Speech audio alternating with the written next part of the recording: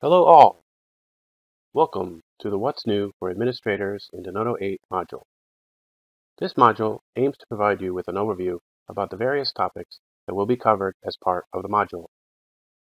Also, we recommend this module for the administrators who have prior experience with Denodo platform as it talks about the new features in Denodo 8. However, if you are a new user, then we recommend you start with the standard courses for administrators. This is the agenda of this module, in which you can see there are three main sections for explaining the changes in Solution Manager, the changes in Virtual Data Port, and other changes in the Denodo Platform 8 from an administrator's perspective. In Denodo Platform 8, the Solution Manager has been redesigned with a lot of new features, out of which we are going to focus on the list of features from an administrator's perspective. These features include administrator-related activities, such as single point of access, automated deployments, and authentication and authorization, etc. In the initial part of this course, students will be discussing in depth about each of these features, and they will see some demos about these new features.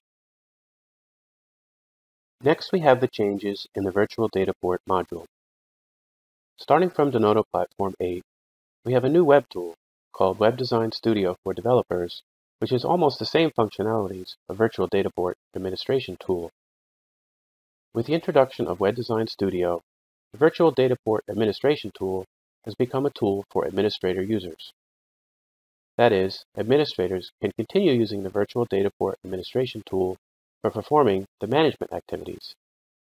These functionalities include assigning permissions for developer users, management of databases, Resource Manager, memory usage, etc. In this module, we are going to see the changes that have been introduced in the new Virtual Dataport administration tool, which will benefit the administrator users. In the last module, we will explore the latest features that have been developed in the other components of Denodo Platform 8. These components include Scheduler Administration Tool and Diagnostic Monitoring Tool. Also, we will discuss the set of functionalities which are modified in Denodo Platform 8 that will have an impact on all the components of the Denodo platform. As final summary, in this course, administrators will have an overall idea on the latest features available for them in Denodo 8. We hope you enjoy the training.